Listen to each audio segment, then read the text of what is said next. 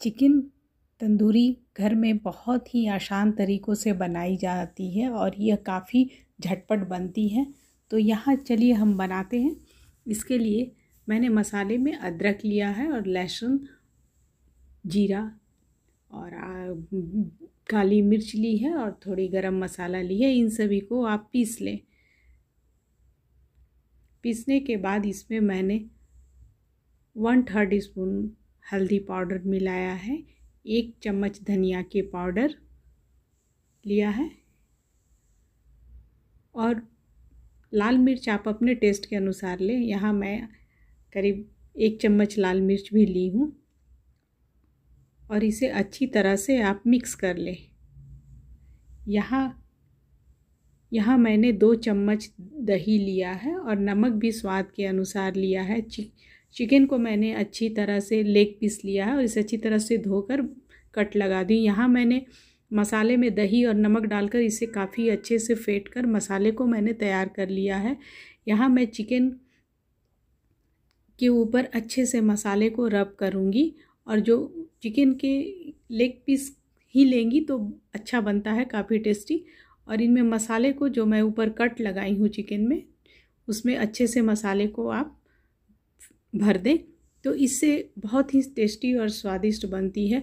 और फिर इसे आप ढककर एक से डेढ़ घंटे के लिए इसे छोड़ दें। एक से डेढ़ घंटे जब ये अच्छे से मसाले इसके अंदर इन कर जाए तो यहाँ मैंने एक पैन लिया है। इसमें तीन चम्मच बड़ा टेबल स्पून सरसों का तेल लिया है और इसे अच्छी तरह से गर्म कर लें। गर्म करने के बाद सभी पीस लेग पीस को आप इसमें अच्छे ढंग से सजा दें। और इसके ऊपर आप मसाले को, जो बचे हुए मसाले हैं, एक साइड डाल दें और थोड़ा मसाला बचा के रखें। उसे फिर अपोजिट साइड डालना होगा जब। और चिकन का जो मसाले की क्वांटिटी है, वो मैं डिस्क्रिप्शन बॉक्स में दे दूँगी। और इसे ढक दे। चार से पाँच मिनट स्लो फ्लेम पर ढक कर पकाएँ। फिर यहाँ मैंने ढक्कन को हटाया और देखा हमारे चिकन पक, थोड़े हल्के पक चुके हैं एक साइड तो इसे बहुत हल्के हाथ से इसे पलटेंगे, नहीं तो टूटने का डर रहता है। तो इसे संभाल कर आप पलट लें।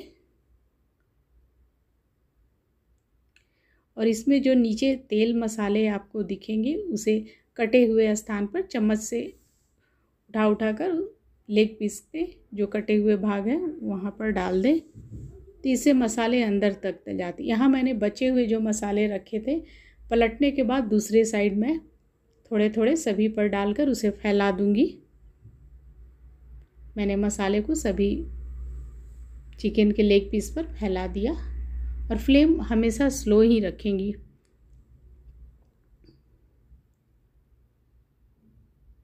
और इसे पुनः आप ढककर चार से पाँच मिनट तक पकने देंगी।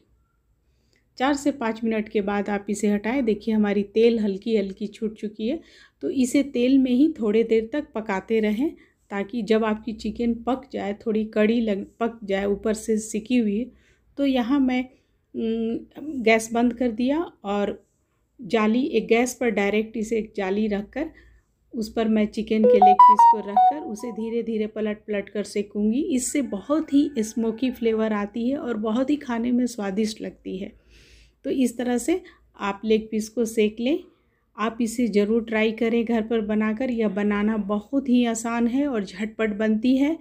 आप मेहमान आए तो वो अगर वो नॉन वेज खाते हो तो उन्हें बहुत ही पसंद आएगी। तो आप ज़रूर एक बार ट्राई करें आप इसे।